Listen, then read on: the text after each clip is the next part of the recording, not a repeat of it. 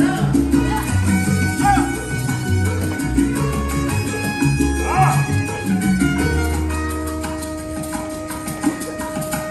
tus ojos me muero, daría la vuelta al mundo entero.